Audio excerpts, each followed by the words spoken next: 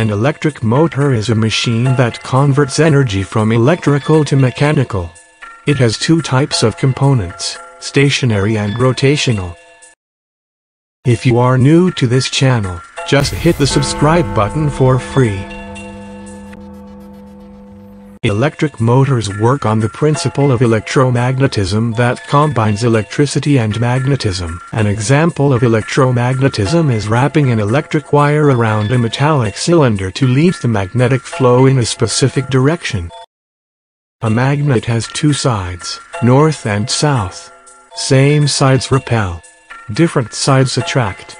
When you fixate a magnet on a pivot and attempt to attract it to another magnet with the same side, it would be forced to spin 180 degrees to the opposite side. The polarities of the external magnets have to be interchanged in order to spin the internal magnet with another 180 degrees that returns it to its original position. By repeating these two steps alternately, the internal magnet would spin continuously in a specific direction. A commutator reverses the electric current flow for every 180 degrees of spin without changing the polarity of the external magnets. One side is for sending and the other one is for receiving. More internal magnets in the rotor should be added to maintain a constant rotational speed around the stator.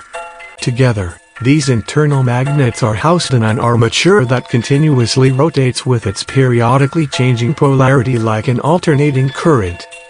By connecting two batteries of the same kind, you double the motor power. Depending on how you connect them, one of the power elements is increased, current or voltage. To double the motor torque, connect the two batteries in parallel. To double the motor speed, connect the two batteries in series. Electric motors are used in the wheels of line-following robots, sliding doors on entrances, pulleys that move elevator counterweights, propeller blades for quadcopter drones or cooling fans, and mechanical gears for cassette players and power steering cars. I hope you enjoyed watching this interesting video.